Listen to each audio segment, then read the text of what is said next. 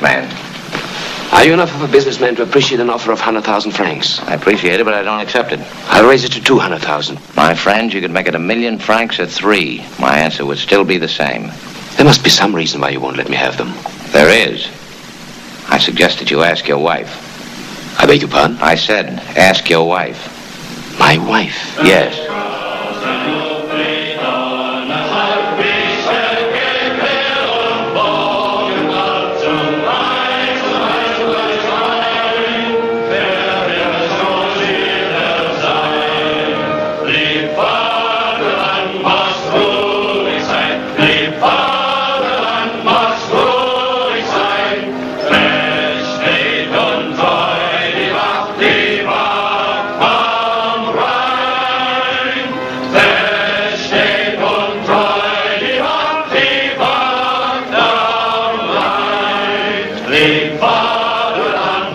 Play La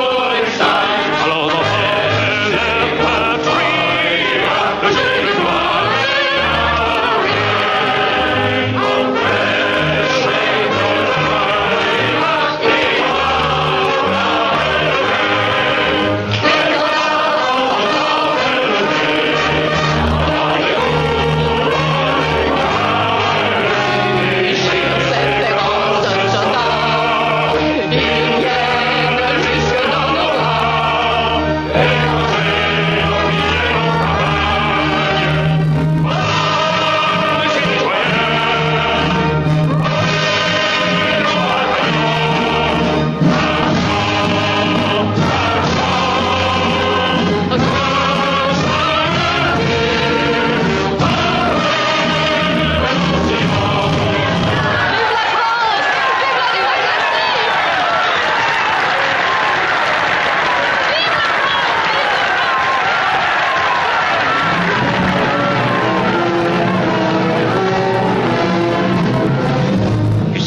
If Laszlo's presence in a cafe can inspire this unfortunate demonstration, what more will his presence in Casablanca bring on? I advise that this place be shut up at once.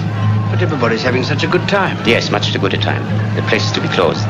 But I've no excuse to close it. Find one.